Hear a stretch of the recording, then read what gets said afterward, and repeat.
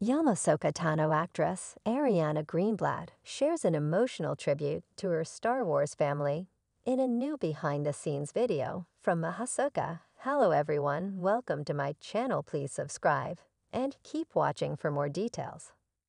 Ahsoka and Anakin's reunion in the live action series Ahsoka was a memorable and emotional moment for Star Wars viewers.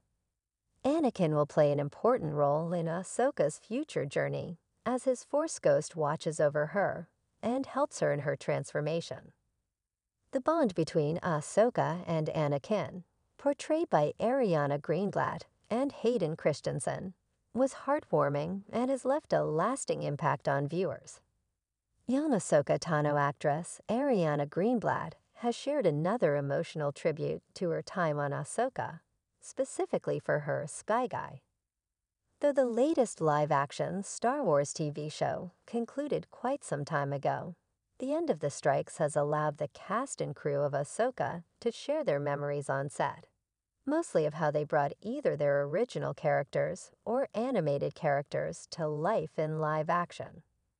Greenblatt had her chance to shine as Padawan Ahsoka in a series of iconic Clone Wars flashbacks alongside Hayden Christensen's Anakin Skywalker himself leaving Star Wars viewers to beg for more of the era in live action.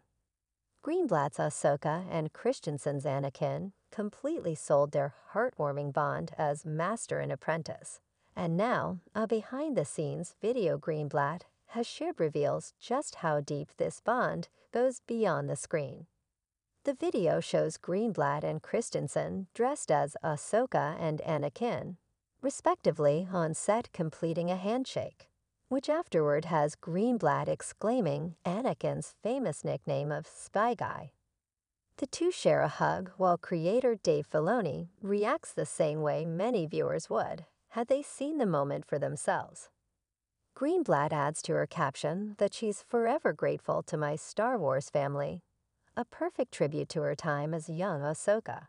Viewers will never forget the shock they had when Christensen's Anakin appeared in the cliffhanger ending of Ahsoka Episode 4, reuniting Ahsoka and Anakin for the first time since Ahsoka's mission to Mandalore, and the first time ever in live action.